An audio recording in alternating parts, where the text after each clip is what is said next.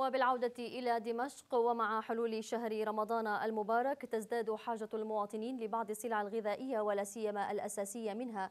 الحكومة تعمل على دعم بعض من بعض من تلك السلع الأساسية في حين يتاجر البعض بقوت بقوت المواطن دون رقيب. مع حلول شهر رمضان المبارك تزداد حاجة المواطنين لبعض السلع الغذائية ولا سيما الأساسية منها. الحكومة من جهتها تؤكد أنها تحاول إيجاد آليات مناسبة لإيصال الدعم لمستحقيه. وآخر ما قدمته كان إضافة البرغل والشاي والسمن والزيت للسلع التي تدخل في إطار الدعم الحكومي. في جولة لكاميرا سما للمؤسسة الاستهلاكية وأحد الأسواق تنوعت آراء المواطنين. يعني بدها عدد موظفين أكثر يعني محاسبة وحدة ويدوية لا كاشير ولا أي شيء على 400 500 زبون. في مواد بالأصل. في نقص بالمواد ما في مواد. شفناهم وقت التصوير على الرفوف. وبس. وين الزيت؟ كان الزيت مليان يوم التصوير. وينه؟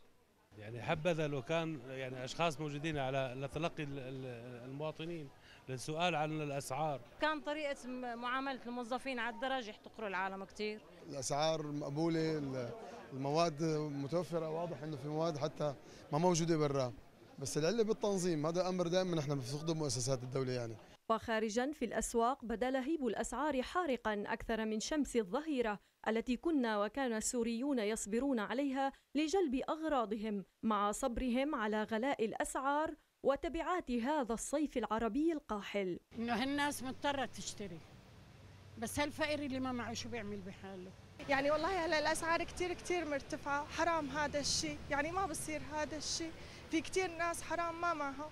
أحيانا لعبه من التجار. بيحتكروا المواد وبعدين بيطرحوها بالسهل بالدنيا بيستغلوا وضع الأزمة. تاجر لازم يحط التسعير وبشكل واضح على كل مادة. نشوف هون ما في ما في تسعير. حاط له كم يعني مادة البقية؟ لا. ليه؟ زيادة الرواتب اللي منحها السيد الرئيس للشعب. مشان شو؟ لحل مشكلة. لحل مشكلة الشعب. أصحاب الرواتب الدخل المحدود إلى آخره. بس لكن عم في يكون في شيء مقابلة وما له رادعة اللي هن بعض التجار بعض التجار المافيات يلي ما في لهم رادعة. والله غالي كثير الله يساعد الفقير.